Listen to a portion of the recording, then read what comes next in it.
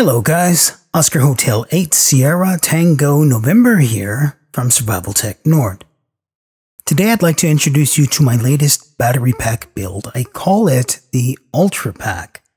It's a QRP Plus battery pack, pocket size, and able to power rigs like your TX500, your IC705, your X6100, your FT818, all in a SOTA or POTA sized package.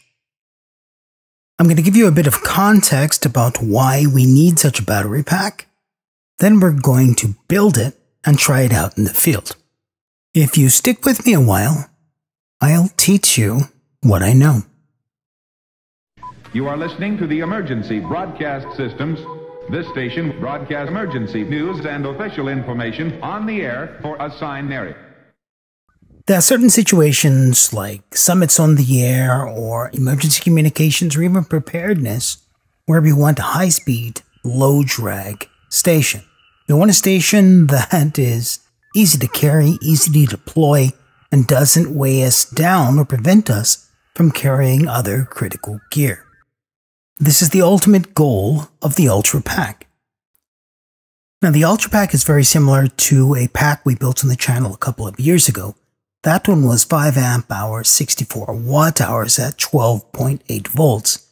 The Ultra Pack is 4S1P lithium iron phosphate pack based on A123 26650 batteries. It's 2.5 amp hours, 32 watt hours at 12.8 volts. If we allowed the pack to do so, we could get 50 amps continuous out of it. But all we're really looking for is 10 to 20 amps, which is absolutely fine. The Ultra Pack weighs in at 356 grams or 12.6 ounces. If you add the Genasun Charge controller, that's 383 grams or 13.6 ounces. This is absolutely outstanding for a pocket-sized portable power supply which can power a QRP radio for quite a long time, a QRP radio and amplifier for a little bit less time, or a QRO radio at full power for those short portable or lunchtime deployments with your favorite QRO radio. Since we're trying to have a high speed, low drag battery pack, we want to build it in the most efficient way possible. Although you've seen me and other YouTubers soldering these battery packs together in previous videos, don't do it. A safer and more pragmatic way to achieve our goals is spot welding the battery packs. My spot welder came from eBay a couple of years ago. It has been reliable, but I'm sure it's not the best model or quality. Now, it has been an excellent investment as far as learning goes. But given the number of potential applications this spot welder might be useful around the shack, I think I'll invest in a better model. But if this one is still available on eBay, I'll leave a link for it in the description. Now, just like the previous 5 amp hour build, we're going to use these 26650 holders to keep all the cells together and properly spaced for good ventilation. Now we have the option to configure the pack as a rectangle or square looking at it from the side, or of course a flat pack as I am here so that it packs flat in our backpack or rucksack. The reason this is important is space optimization. There's no point in having such a small pack if it doesn't integrate well with the other equipment we have to carry. So I set up these holders on top and on bottom with the cells oriented plus minus on the first cell and then uh, minus plus minus on top plus on bottom on the second cell plus on top and minus on bottom on the third cell, and minus on top and plus on the bottom on the fourth cell. This will give us a 4S series pack.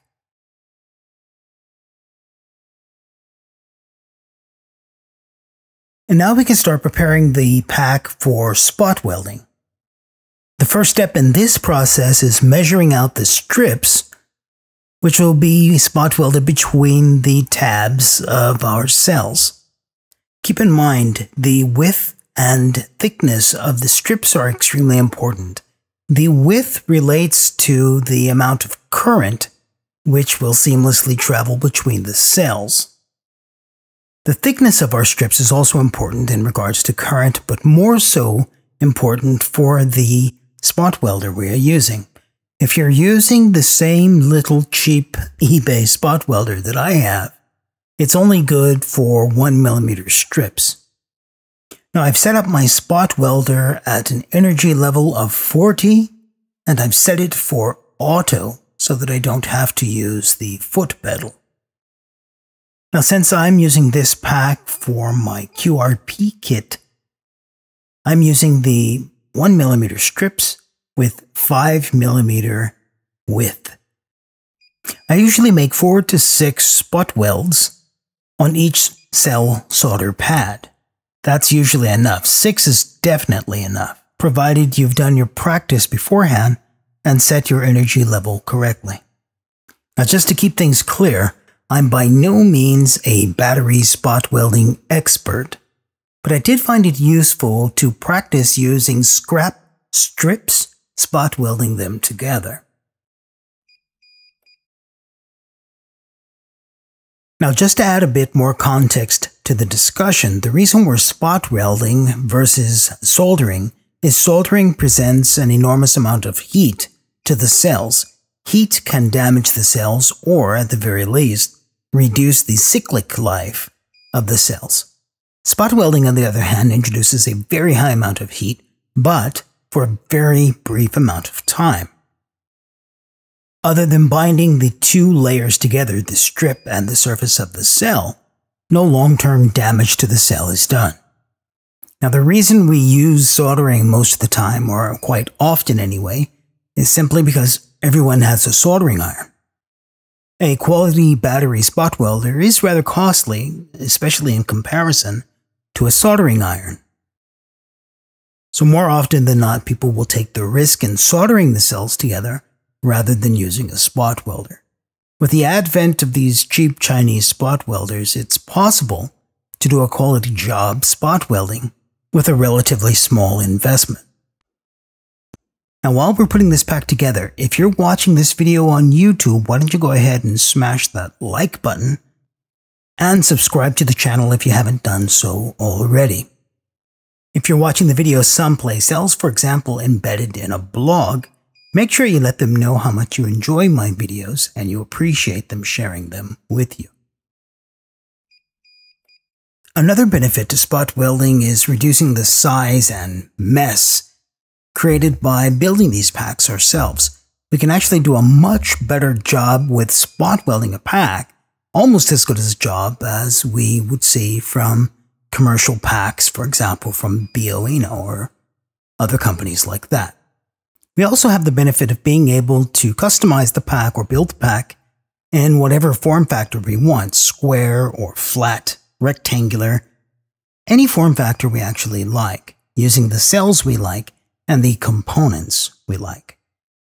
Where many battery manufacturers or battery systems integrators will build their battery packs based on the highest profit margin possible, we can actually DIY build our battery packs basing the build entirely on our technical requirements. So let's move on to the BMS board now, and yes, I am actually using one for this build.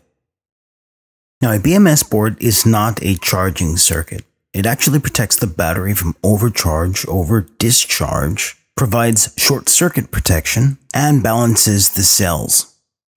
Now the reason we're using the BMS is because we want to directly connect a solar charge controller to our battery packs for charging in the field. Without the BMS board, we'd lose the low voltage protection, over voltage protection, and short circuit protection protecting our costly cells from damage in case of mishaps. Now very often BMS boards come with a wiring loom allowing you to connect it to different parts of the battery pack.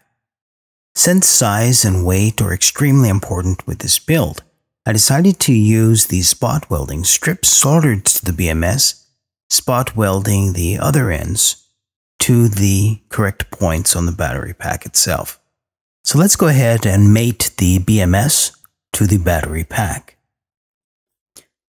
So the BMS board is going to be hot glued to the battery pack.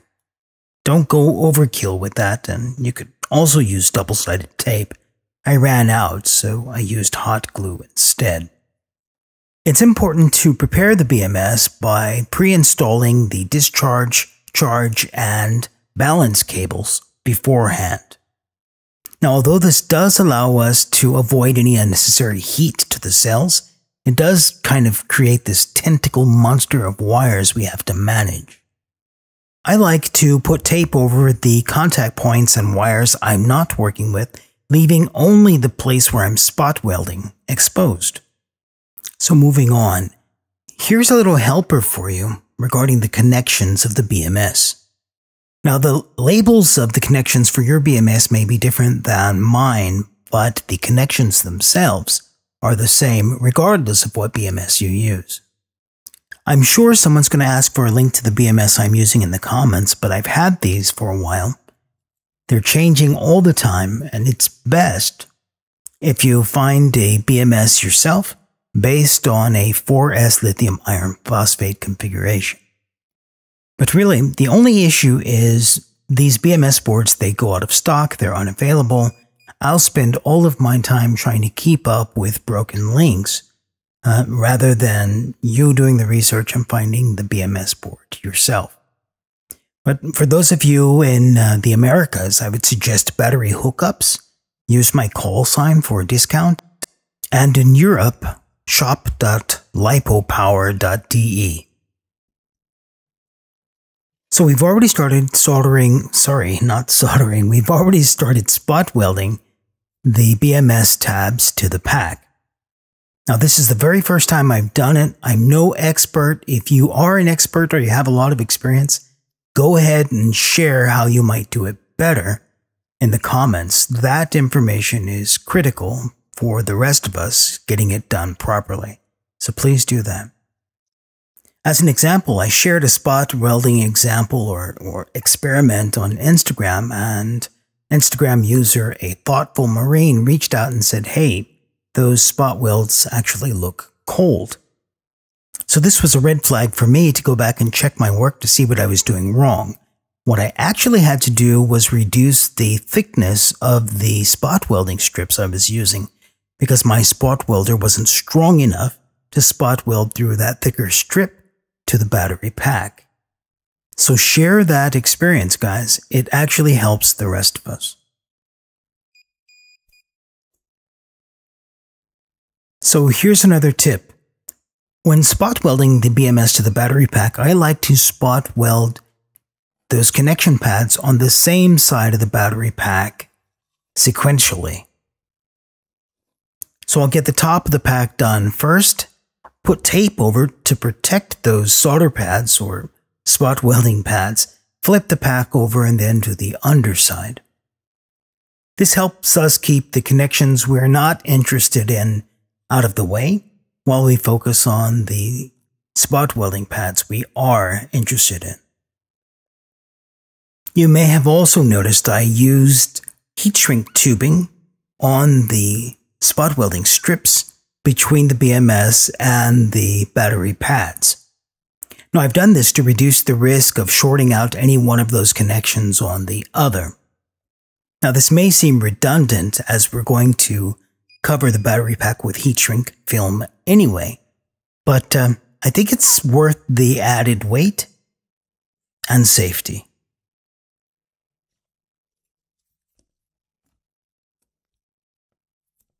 Okay, while we finish up the spot welding of this pack, let's talk a bit more about why this pack is actually necessary.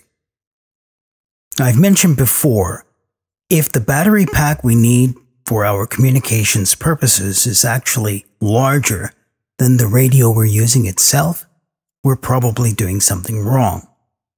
Now for radios like the Elecraft KX2, which actually can't be charged externally, with solar power while in the field, we need an external battery pack to bridge that gap. For the Lab 599 TX500, which doesn't have its own internal battery pack, we need an external battery pack to actually power it up in the field. It's such a small radio that it's ridiculous to carry a 10 amp hour battery or something even larger when we know the design goals of that radio were to be lightweight and extremely portable. Naturally, our portable power supply should be the same. For the ICOM IC705 or Xiegu X6100, we use an external power supply like this to get the full power out of that radio, a full 10 watts. For the Yaesu FT817 and Yaesu FT818, we solve a couple of different problems. Firstly, the extremely slow charging circuit for the internal batteries. If we want to fast charge the Yaesu FT818 in real time, it's impossible. We need to do that with an external power supply and a solar panel with charge controller connected to the external battery. And if you want to run full power with data modes or even voice or CW for any significant length of time with the FT818, you need to do so with an external battery. The challenge is finding a battery which won't overload us or take up too much space. So now I've got my fluke meter out and I've added a couple of Anderson power pole connectors to the discharge wires on the battery pack. What we want to check for is voltage on that discharge port. 13.46 volts, I'll take it. If you test and find any other voltage lower than, for example, uh, 12 volts or 11.5 volts, there's probably something wrong with one of the cells. Use your multimeter to check the cells individually to make sure voltage is where it should be. If you find you have zero volts on the multimeter, you can bypass the BMS by using your voltage uh, probes on the plus and minus of the battery pack itself. If you get voltage from the pack, it means you need to activate the BMS. As soon as you plug in the charger to the BMS, the BMS will become active. So, there you have it, guys. A 4S 1P lithium iron phosphate 32 or 33 watt hour pocket portable battery pack for your ham portable operations. Now, one thing I didn't cover in this video was the charge controller. I'll use the Genasun GV5 mod. The GV5 mod is an embedded version of the GV5 we normally use on the channel. More about that in the next video. So, some size comparisons with the Xiegu X6100, the ICOM IC705, the Yaesu FT817 and 818, and finally, the Lab 599 TX500. And let me know what you think. Do you like these DIY battery packs? You know, we'll also be covering some commercial or pre-built battery packs on the channel like we have in the past, so keep an eye out for those.